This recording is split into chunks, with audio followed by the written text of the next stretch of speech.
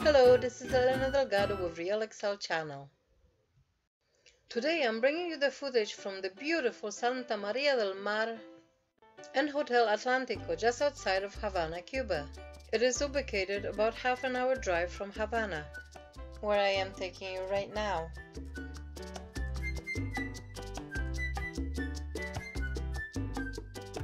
El Palacio de la Familia Pedroso is a historical building a great tourist attraction, as well as the most popular place in Havana to get your souvenirs. You will see many historical monuments,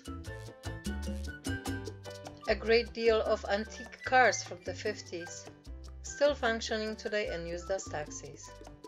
Because Cuba's resources are limited, you'll get to see some modern but mostly old structures. Going back to Hotel Atlantico now.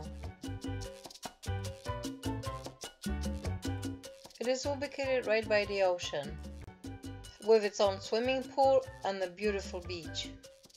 The beach is not exclusive, so there's a lot of locals that come around.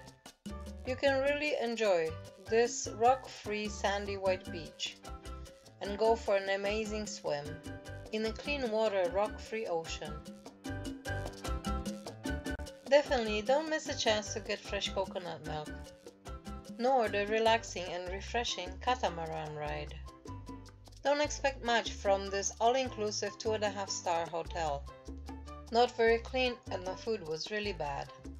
The incredible beach and the amazing swim in the ocean were the only perks in this place. If you enjoyed this video, give it a thumbs up and subscribe below for other travel videos. Thank you for watching. Ciao amigos.